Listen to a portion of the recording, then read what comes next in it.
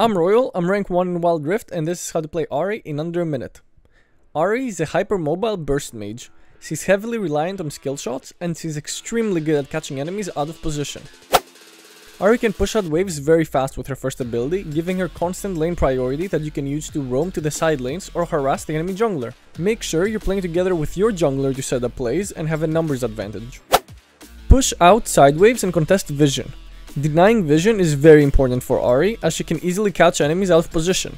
Play with your team and use your ultimate and charm to get picks and convert the picks into objectives.